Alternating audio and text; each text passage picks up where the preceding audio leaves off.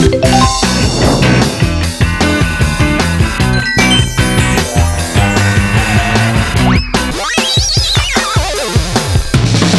天下厨去轻松泰料理，萨瓦迪卡，我是 Nancy 老师。今天我们要来教大家如何在家里面就可以自己来制作美味的泰式料理，因为真的很简单，看着就会做喽。